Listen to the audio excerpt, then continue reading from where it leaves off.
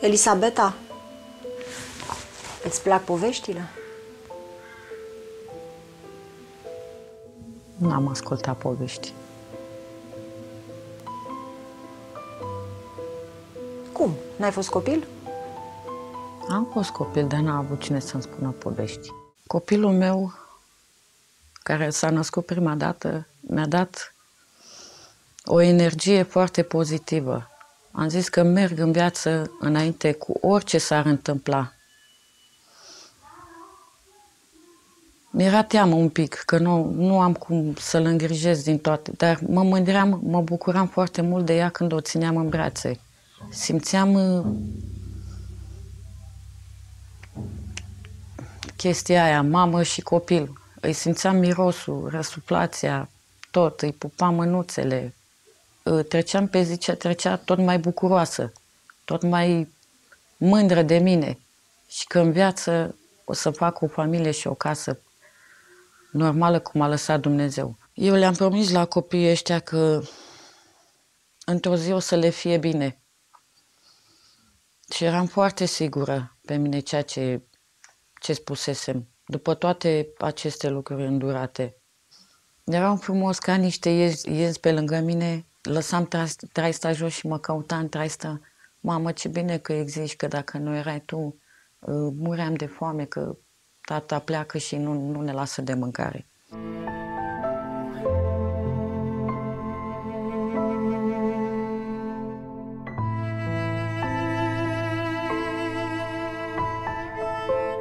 Elisabeta, de ce ești aici? Pentru omor calificat. L-ai omorât? Da, Da. da. Cum? N-am mai putut să mai îndur, domnișoară, credeți-mă. Cum l-ai omorât? Secvențele alea care mi le mi-apărau pe moment, tot, tot, tot mi, s-au, mi s-a adunat. 17 ani. 17 ani de zile. Pur și simplu veneau una după alta, Cum l-ai omorât? cu un ciocan. M-a adus cazul. Un om când face chestii din astea, n-ar face că este pus de cineva sau că este obligat sau că e nebun. Trebuie să vadă, să întâmpine, să îndure, să reziste, Să să trăiască. pățească multe ca să ajungă la limita asta. Exact așa mi s-a întâmplat mie. Brusc m-am sculat de la sobă, m-am dus sub pat unde pusesem ciocanul și m-am dus către el cât uh, dormea cu fața la perete și i-am dat un ciocan. Nu știu dacă i-am dat-o ca să, pur și simplu, tot ce m-a determinat și toate secvențele alea care le vedeam, m-a trimis acolo. I-am dat un ciocan în zona tâmplei. A ripostat din pat jos, între pat și masă. Am zis că acolo a fost sfârșitul. În secunda următoare m-am dus ca să pun mâna pe clanță să mă duc după ajutoare. Noroc de Dumnezeu că mi-am întors capul și l-am văzut pe el când se ridica să se tăvălea ca să pună mâna pe ciocan și să mă lovească el pe mine. N-a fost așa, a fost o putere, nu știu de unde să vă spun că a fost. Și m-am dus către el, fugând, l-am călcat pe mână, i-am smuls ciocanul din mână și atunci i-am dat în neștire până în 10 lovituri. Și mă uit așa la el și la el și la copil și sare din pat, se duce la pantalonii lui taicăsu și ia pantalon, uh, telefonul din uh, uh, pantalon și butonează pe el. A văzut că eu am rămas tot acolo, mă întreabă, iar a, băut, iar a, a venit uh, băut? De ce nu-l punem și noi în pat? Nici atunci n-am scos nicio vorbă. Când a văzut că s-a făcut baltă în jurul capului, credeți-mă, și-a dat seama că a fost omorât. Cum credeți că a reacționat? A sărit din pat cu telefon cu tot, A venit, m-a îmbrățișat, a pus capul pe pieptul meu și îmi spune, mamă, ce bine că nu mai are cine să ne bată.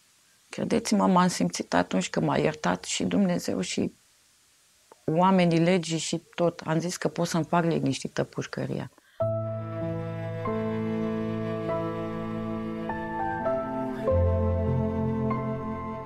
Elisabeta, ce să faci în prima zi, după ce ai să pleci de aici?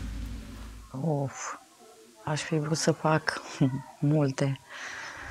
Multe. Am uh, planuri foarte mari de viitor. Cum ar fi? Să muncesc, să am orice, Orice. orice. Îmi place foarte mult să muncesc.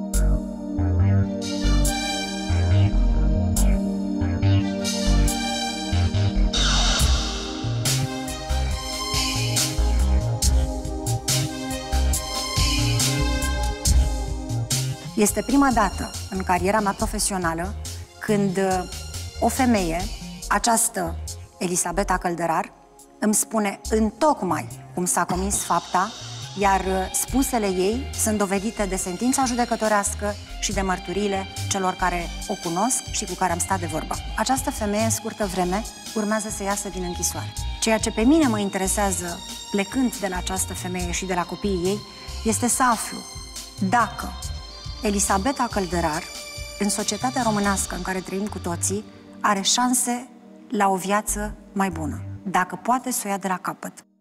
Nu are nicio șansă, doamna Elisabeta Căldăraru, nu are nicio șansă să se integreze în societate. Dragă Elisabeta Căldărar, nu se poate face nimic pentru tine, s-a spus în această seară. Sau, mă rog, e greu să se facă.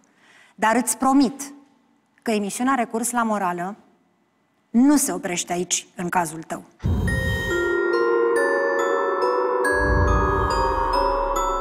Vârsta de 11 ani, tata m-a dat, m-a măritat. Copilăria ta cât a costat? Să zic că două lăzi de beri și mâncare.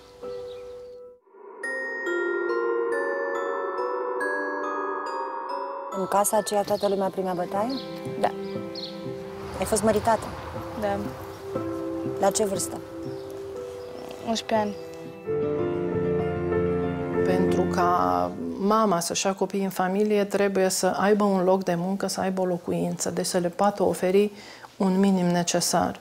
Dragă Elisabeta, noi suntem uh, pregătiți să-ți oferim tot ajutorul de care ai nevoie, dar avem nevoie și de acceptul și de ajutorul tău. Ești pregătită? Îmi doresc din toată inima.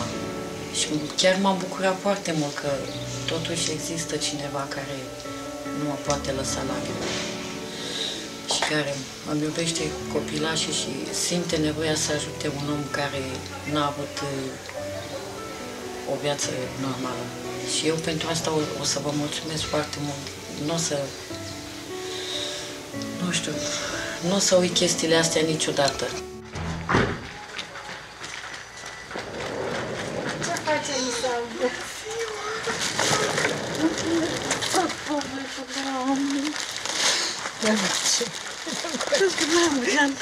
Hai, liniștiați. Unde mergem acum? Eu zic că la copii. Așa zici? Mulțumesc frumos din tot sufletul ăsta. Vă mulțumesc. Niciodată nu m-am, nu m-am temut că o să vă țineți de cuvânt. Și am sperat până în, ultimă, până în ulti- ultima clipă. Hai. Uite, eu cu cuțul te-am așteptat, să știi. Da. Dani,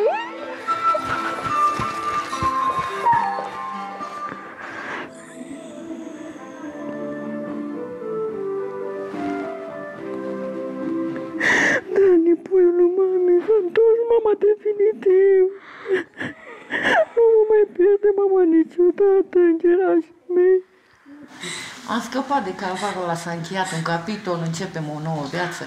Promite mama că o să lupte ca să avem tot ce ne trebuie și căsuța noastră, loc de muncă, exact cum ne-am dorit dintotdeauna.